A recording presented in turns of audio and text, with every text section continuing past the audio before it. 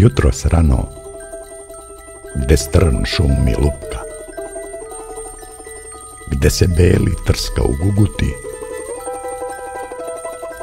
sedmoro je oštenila kučka, sedmoro je oštenila žutih.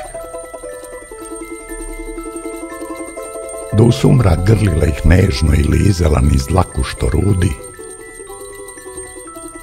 i slivo se mlak sok neizbežno iz tih toplih materinskih grudi. A uveče kad živina juri da zauzme motke ili prut jak, izišao taj domaćin tmuri i svuštenac strpao u džak. A ona je za tragom trčala. Stizala ga kao da uhode i dugo je, dugo je drhtala nezamrzla površina vode. Pri povratku vukuć se potmini i ližući znoj iz bedara leni. Mesec joj se nad izbom učini kao jedno od kučića njenih. Zurila je u svod plavi, glatki.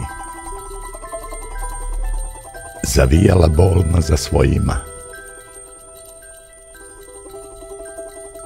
A mesec se kotrljao tanki. I sakri se u hum za poljima.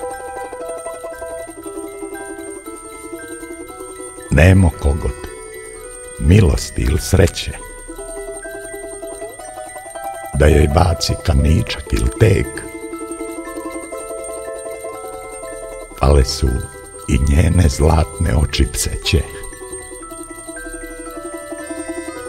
Ko zlatni sjaj zvezda u sneg.